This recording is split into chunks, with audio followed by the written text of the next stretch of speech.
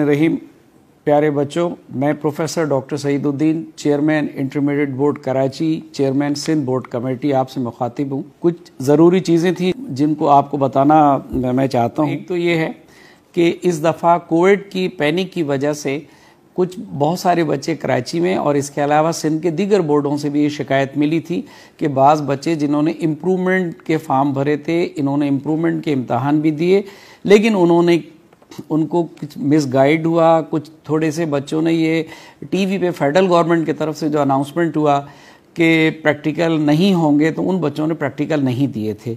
ये मसला ज़्यादातर उन बच्चों के साथ था, जो इम्प्रूवर थे। बाद सिंध बोर्ड कमेटी का इजलास हुआ और हमने बड़ी हमदर्दाना तरीके से सिंध के तमाम चेयरमैनों ने इस बात पे गौर किया और फिर फैसला किया कि इन तमाम बच्चों को इनके प्रेवियस प्रैक्टिकल रिकॉर्ड के मुताबिक इनको मार्क्स अवार्ड कर दिए जाएँगे और कराची बोर्ड ने आज इन सब की मार्कशीट इशू कर दी है और वो तमाम बच्चे जो जो इस कैटेगरी में फॉल करते हैं कि उन्होंने वो प्रैक्टिकल में एबसेंट हो गए थे, जो इम्प्रूवर थे तो वो अगर चाहें तो अपने एडमिट कार्ड के साथ बोर्ड में एक दरख्वास्त कंट्रोलर ऑफ़िस में जमा करा दें तो उनका रिज़ल्ट क्लियर कर दिया जाए दूसरी चीज़ जो ज़्यादा अच्छी खुशखबरी है, मैं आपको सुनाना चाहता हूँ कि इंटरमीडिएट बोर्ड कराची और सिंध के तमाम बोर्ड स्पेशल इम्तहान कंडक्ट करेंगे इन फरवरी तक।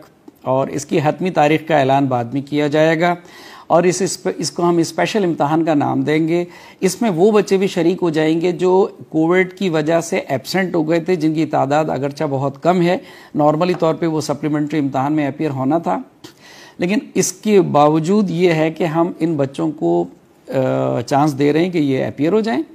और इसके अलावा बहुत सारे बच्चे डी और ई ग्रेड में आए हैं। तमाम चेयरमैन्स ने महसूस किया कि जो बच्चे डी और ई e ग्रेड में आते हैं और जिनकी परसेंटेज 45 से लेस होती है, वो बच्चे एलिजिबल नहीं होते किसी भी यूनिवर्सिटी में एडमिशन के लिए। तो हमने फैसला किया कि इन तमाम बच्चों को चांस दिया जाए ताकि ये अपनी परसेंटेज को बेहतर कर लें और कोविड की वजह से एक ऐसा पैनिक था कि बाद अच्छे बच्चे भी अच्छी तरह परफॉर्म ना कर सके, हमें ये एहसास है। अगर चाहे एग्ज़ाम का वॉल्यूम भी बहुत कम था, कोर्स भी रिड्यूस था, लेकिन उसके बावजूद बाद बच्चों के रिज़ल्ट बहुत अच्छे थे, जिन्होंने साइंस सब्जेक्ट में बहुत अच्छी मेहनत की, लेकिन बाद बच्चों के रिज़ल्ट इतने अच्छे नहीं थे, जिसमें डी और ई e ग्रेड भी बहुत सारे आए। और कई हज़ार बच्चे इंटरमीडिएट बोर्ड कराची में भी डी और ई e ग्रेड में आए। हमें एहसास है कि हम अपने बच्चों के रास्ते बंद करना नहीं चाहते और तालीम का रास्ता बंद नहीं होना चाहिए। तो आप मेहनत कीजिए। जिस तरह इससे पहले इम्प्रूवमेंट होती रही तो इसी तरह हम भी आपको एक चांस देंगे एक ये चांस दे रहे हैं कि आप अपने आप को दोबारा इम्प्रूव कर लीजिए और आप जो सब्जेक्ट इम्प्रूव के लिए लेना चाहते हैं जो तरीक़ाकार पहले वज़ा किया गया है उसी के मुताबिक होगा। तो हम एक इंशाल्लाह स्पेशल इम्तहान कंडक्ट करने जा रहे हैं ताकि ये खुशखबरी मैंने कहा मैं आपको सुना दूँ।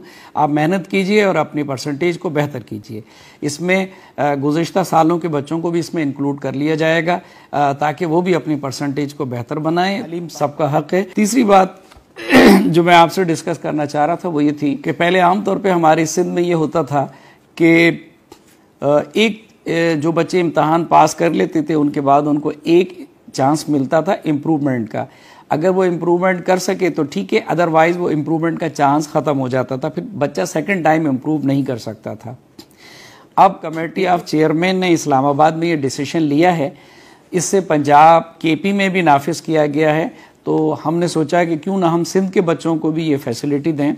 तो आप इम्प्रूवमेंट के लिए आ, अगर कोई बच्चा इम्प्रूव करना चाहता है तो उसके पास एक के बजाय चार चांसेस होंगे। तो वो अपनी परसेंटेज को एक दफ़ा दो दफ़ा तीन दफ़ा चार दफ़ा इम्प्रूव कर सकता है। और हम अगर जब तक उसने हायर ग्रेजुएशन के अंदर दाखला ना लिया हो तो ये इस तरह इन बच्चों को ज़्यादा बेहतर मौाक़े मिल जाएँगे अपनी परसेंटेज को इम्प्रूव करने के लिए। और तो वो यूनिवर्सिटी में अपने एडमिशन को सिक्योर कर सकेंगे। आप मेहनत कीजिए और इन इंटरमीडिएट बोर्ड और सिंध के तमाम बोर्ड जो है, जो बच्चों की बेहतरी के लिए इकदाम कर सकते हैं, वो करेंगे। मैं समझता हूँ कि इस दफ़ा जो एनुअल इम्तहान 2022 होगा, उसमें कोई कोर्स रिड्यूस नहीं किया जाएगा। तो बच्चों को चाहिए कि वो मेहनत करें। फ़र्स्ट ईयर का सेशन यकीनन इस दफ़ा बहुत लेट शुरू हुआ है दिसंबर में। तो हम्म, बच्चों से भी दरख्वास्त है कि वो भी ज़्यादा पढ़ें और एजुकेशन डिपार्टमेंट से भी रिक्वेस्ट करेंगे कि कुछ क्रेडिट आवर्स अपने टाइमिंग बढ़ाएँ ताकि बच्चे ज़्यादा पढ़ सकें। हम बार बार कोर्स को रिड्यूस करने से एकेडमिक लॉस होता है और इस तरह जो हमारी जो जो बच्चे आ रहे हैं, उनको भी जो है वो एकेडमिकली तौर पे वीक आ रहे हैं। तो हम चाहते हैं कि अगर दुनिया से हमारे मुकाबला करना है तो तालीम के मैदान में तो हम किसी तरह भी कमज़ोर ना हों। और हमारे पास अच्छे बच्चे हैं, हमारे बच्चे जहीन बच्चे हैं। अगर डायरेक्शन ठीक होगी तो इन ये प्रोग्रेस करेंगे और ये पाकिस्तान में भी तरक्की करेंगे और पाकिस्तान का नाम रोशन करेंगे। पाकिस्तान जिंदाबाद।